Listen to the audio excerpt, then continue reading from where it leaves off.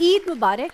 खैर मुबारक और मैं आपको भी मौका दूँगी कि हमारे आवाम को भी आप कह लें। ईद मुबारक सबको मेरी तरफ़ से बहुत बहुत।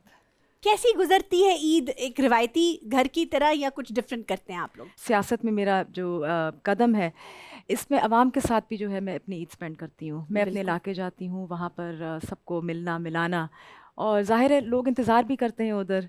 और इसमें ये ज़रूर होता है कि एक तरफ़ फैमिली जो है वो मुझे पुल कर रही होती है कि नहीं आप इधर करें ईद सेलिब्रेट हमारे साथ लाहौर में करें।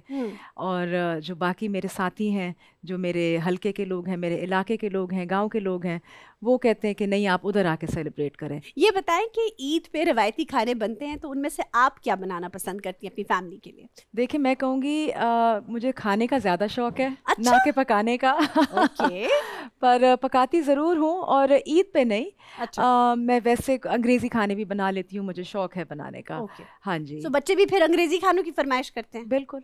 तो ईद पे क्या अंग्रेज़ी खाने बनते हैं या रिवायती खाने नहीं रिवायती खाने बनते हैं। सुबह फिर शीर खुरमे के साथ हाँ जी सेवियाँ भी होती हैं शीर खुरमा भी होता है बिल्कुल इस तरह पुलाव होता है और एक्सटेंसिव मेन्यू होता है दही भले वगैरह सारी जो होती है वो जो रमज़ान के बाद की जो चीज़ें मतलब चल रही होती है ना बस उसी को हम आगे जो है वो लेकर चलते हैं ऐसे ही। आपकी बहुत खुली आवाज़ है। उसका क्या राज है? सर आप रोज़ कितना रियाज करते हैं?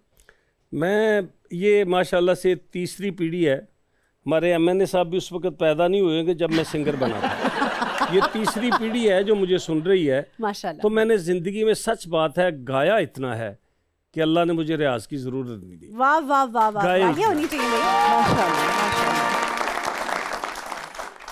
सर अंदाजन आप कितने गाने गा चुके हैं? पूरी दुनिया में फोक सिंगर गाने वालों में से एक गानों का मेरा वर्ल्ड रिकॉर्ड है। क्या बात है भाई। यानी सर कोई एक सौ हम्म। और फिफ्टी नाइन। एक सौ फिफ्टी नाइन घंटे तक बिला वक्फा मेरे गाने चलते रहे तो एक लफ्ज भी रिपीट नहीं होगा क्योंकि मेरे एक सौ fifty nine fifty nine album है 159 एल्बम एक सौ फिफ्टी नाइन और सर एक एल्बम में कितने गाने हैं? आठ अगर ड्यूट हो तो छह।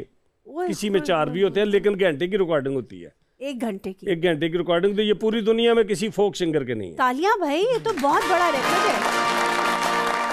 सो so, 159 एल्बम्स और एटलीस्ट छह से आठ गाने एक एल्बम में। एक एल्बम तो में। तो बहुत सारे गाने बन जाते हैं सर। असल में हमारे एमएनए साहब बैठे हैं इनकी वसादत से मैं बात कर देता हूँ कि जो लोग बहुत बड़ा काम करते हैं ना इस हम्म, पाकिस्तान में हम्म, हम्म। उनको ना माशाल्लाह उनके मर जाने के बाद अवार्ड दिया जाता है। जैसे अभी हमारे सदारती अवार्ड हुए हाँ और खुदा का खौफ है कि दस बंदे ऐसे आए तकरीबन कि उनकी औलाद अपना वो हम्म। सदारती अवार्ड ले रही थी।